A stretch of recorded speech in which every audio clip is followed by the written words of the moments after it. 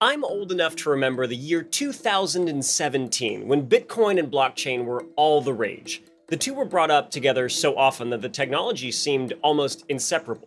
But the two things are not synonymous, and blockchain has potential uses far beyond Bitcoin and other cryptocurrencies. So, what exactly is blockchain? What can it be used for, and what's holding it back? To understand blockchain, first I want you to picture a ledger, like your bank statements. Your bank keeps track of every transaction and how much money is coming into and going out of your accounts.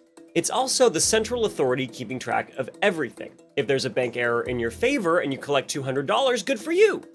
Actually, spending that money can be legally tantamount to theft, so, you know, maybe not. And if a decimal is misplaced or an auto payment is charged twice and your account is zeroed out, it can be a headache dealing with the bank to fix it. Enter Distributed Ledger Technology, or DLT. Rather than having just one authority keeping tabs on transactions, DLT is managed by an entire network of participants who all share the ledger of transactions. If over half the systems on the network verify a transaction, then it's approved. Records of multiple transactions form a block, which is then added on top of previous blocks to form a chain, hence the name.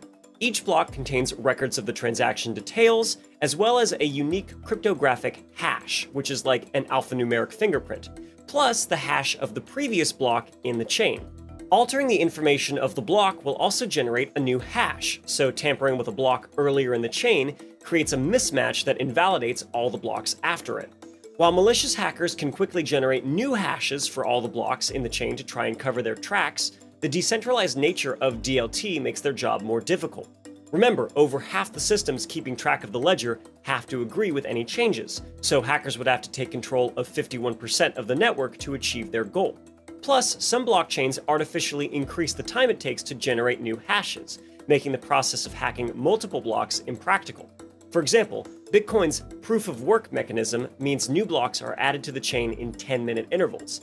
Basically, blockchain can be a way to get multiple parties that may not trust each other to share and agree on data. It's this peer to peer system that's made blockchain appealing for financial applications like Bitcoin and other cryptocurrencies. But ironically, the same features that make it secure also make it impractical for many applications. Making every node in the network keep track of every transaction, plus intentionally slowing down the generation of hashes, means transactions can take an inconvenient amount of time.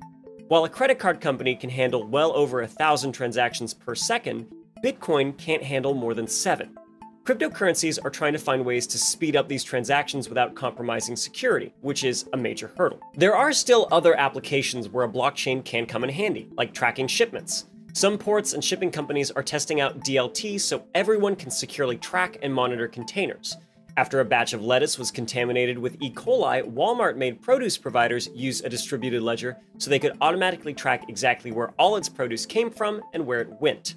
There are potential uses for the blockchain in healthcare, like managing data in medical trials while maintaining anonymity. But the enthusiasm for blockchain has dimmed since the word entered the public lexicon a few years ago.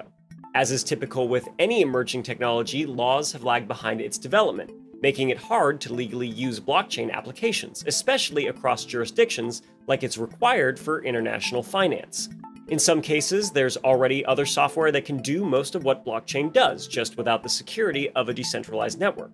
So if security isn't a huge concern, then there's no need to adopt it. And smaller networks might not be that secure anyway, since it's easier for bad actors to take control of over 51% of the nodes. All this means that blockchain is a really cool and clever idea that just hasn't found its niche yet. Give it a few years for the systems to advance and for laws to mature, and you may one day be relying on blockchains without even realizing it. So, what do you think? Is blockchain worth the hassle? Let us know over on Twitter and Instagram. We're at Seeker, and I am on there too, at Hug It Out. Thanks for watching, and I'll see you next time on Seeker.